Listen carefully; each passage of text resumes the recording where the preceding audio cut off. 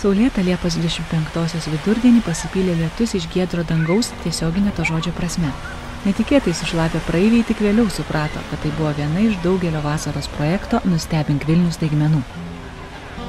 Nustebink Vilnių projektas, tai šiemet pirmą kartą organizuojamas rotišas iniciatyvinis projektas, organizuojamas vasarą.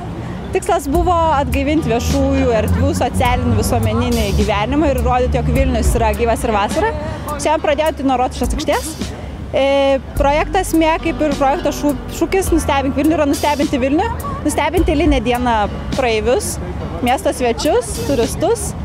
E, ir stengiamės kiekvieną trečiadienį susijęti, susijęti su kalendorinėmis šventėmis, jeigu pavyksta, ir pritraukti ir šiek tiek kultūriškai taip pat irgi išprusinti žmonės ir žaismingai paminėti šitas dienas ir kurti žaismingo miesto įvaizdį, žaismingo ir gyvo. Nutikingo projekto organizatorių dėka trečiadienį šventėme itin linksmą, bet seniai užmirštą šventę nuobaigas. Nuobaigų diena tai yra Liepos 25 ir Gepytos pabūktuvės diena. E, šią dieną yra daug papročių, bet vienas iš papročių, kaip minėjau, buvo e, grįžus darbininkus iš laukų apipilti vandeniu. E, mes kaip ir pasėmėm šitą paprotį, interpretavome ir jį paminint, būtent surengėm šitą karą. Vandens karą, kuomet galėtume aplaistyti visus visus ir kad auktum dideli, sveiki, gražų žmonės. Aš tai stengiuosi dalyvauti beveik kiekvieną trečiadienį šitose renginiuose, kai tik tai nereikia į darbą, niekur nereikia, tai visą laiką atbėgu geros nuotaikos pasisėmiu. Aš po vandens karo, ačiū.